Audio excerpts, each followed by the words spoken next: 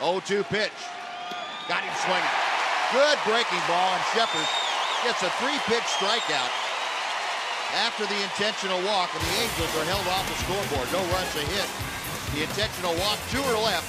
Bottom of the eighth coming up. Rangers one, Angels one.